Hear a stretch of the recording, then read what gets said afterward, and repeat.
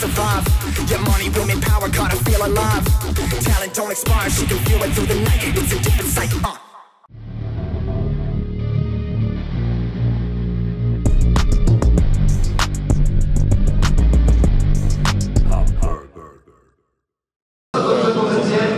Adrian Węgierski, MMA.pl, a ze mną e, Piotrek Szeliga. Po niestety przegranym pojedynku z Michałem Pasternakiem. No, szkoda trochę.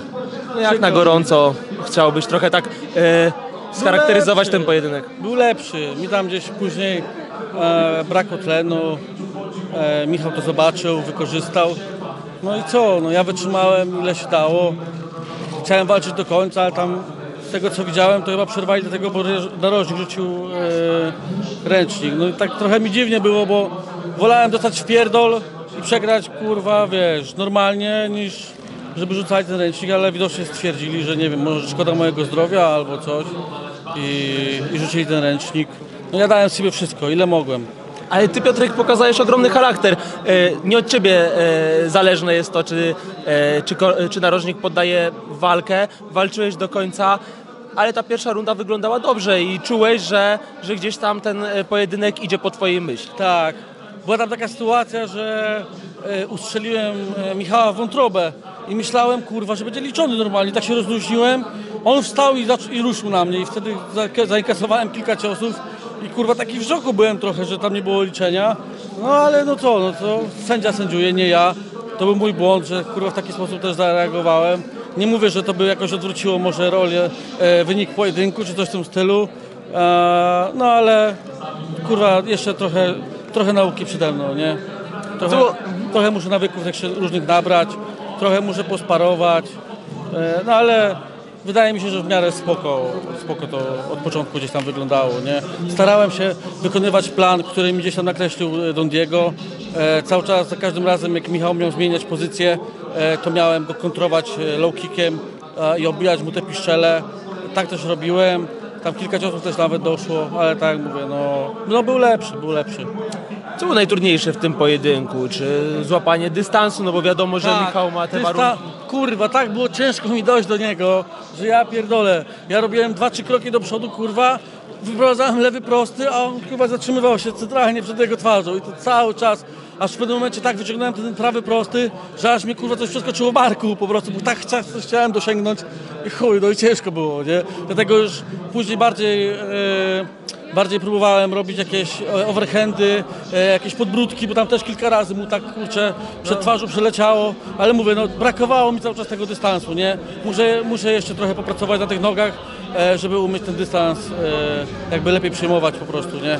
No i jeden cios e, trafił chyba Michała w pierwszej rundzie, przynajmniej takie e, odebrałem wrażenie oglądając ten pojedynek, a ty czułeś, że któryś z tych ciosów e, doszedł e, do, do głowy Michała Pasternaka? Tak, no kurczę, tam kilka ciosów doszło, e, też kilka lowów takich kurwa potężnych e, doszło. E, tak mówię, gdzieś tam e, ten, ten, e, ten hak na wątrobę też doszedł, więc e, no kurde, no ale tak ciężko jest tak na gorąco, bo nawet nie oglądałem tego, tylko tak gdzieś e, robię sobie taką kurwa wizualizację w głowie, jak to wyglądało. E, no ja nie wiem, czy mogę być z siebie zadowolony, no, w każdym razie dałem sobie wszystko, nie? Muszę to obejrzeć, zobaczyć i wtedy będę wiedział, czy jestem zadowolony, czy nie. Chyba tą główną różnicę w tym pojedynku zrobiły kolana i ten tajski clinch, którego tak nie do końca wiedziałeś jak, jak uciekać. No, ale dostałem kilka tych kolan, ale jakoś tak mi nic nie było tak bardzo, nie? Tylko najgorszy był podbródek, jaki dostałem. Myślałem, że będzie leciało kolano, wystawiłem rękę, a wtedy on, kurwa, przeskoczył na drugą stronę i daje, bo takie podbruda. I ja tak patrzę, mówię, ja pierdolę. Coś tak trochę kręcić w głowie, ale... Ale stałem ile mogłem, no. Co Piotrek Narożnik powiedział ci między drugą a trzecią rundą, bo w zasadzie ty... Że dobrze jest, że mamy tą rundę.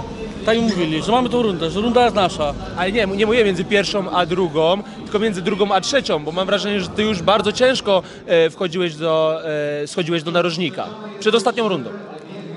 A ile tam było rund w ogóle? No trzy. Trzy rundy były? Tak. O kurwa, ja nawet- nawet nie pamiętam. Pierwsza runda była e, tak, druga, druga wytrwałeś i ja zastanawiałem się, czy to wyjdziesz do trzeciego, e, do trzeciej rundy i, Normalnie i, wszedłem. i wyszedłeś. No tak, oczywiście.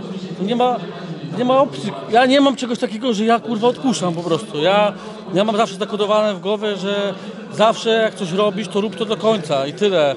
Choćbym, tak mówię, wolałem dostać w pierdol, ale wyjść normalnie, honorowo, niż po prostu gdzieś tam odpuszczać, bo no, w moich, gdzieś tam, w moim mniemaniu się po prostu w życiu nie odpuszcza. Jak już coś robisz, to rób to do końca i na 100%. Czy teraz po pojedynku te emocje skierowane w stronę Michała Pasternaka już są mniejsze? Tak, daliśmy sobie po mordzie, pogadaliśmy sobie, wyjaśniliśmy. Zobaczymy, jak to wszystko da- będzie dalej wyglądać. No to jakie dalsze, dalsze twoje cele, dalsze plany, czy e, Odpocząć. Odpocząć. Chcę wyjechać na jakieś wakajki na chwilę, bo nigdzie nie byłem już od kurwa iluś lat.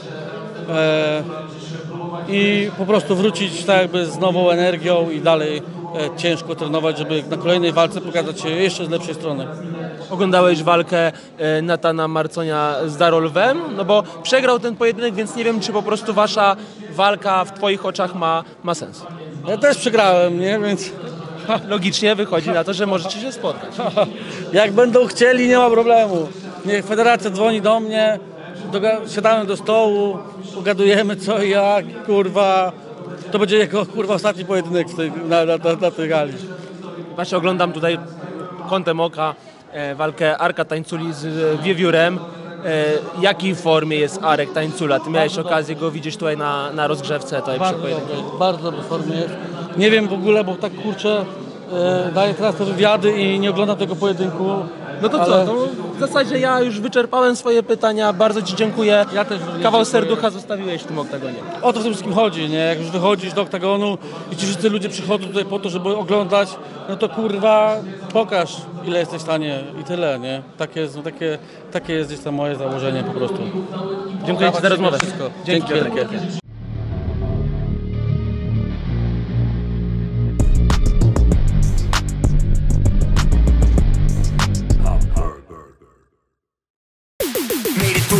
How did I survive? Your money, women, power, gotta feel alive. Talent don't expire, she can feel it through the night. It's a different sight. Uh.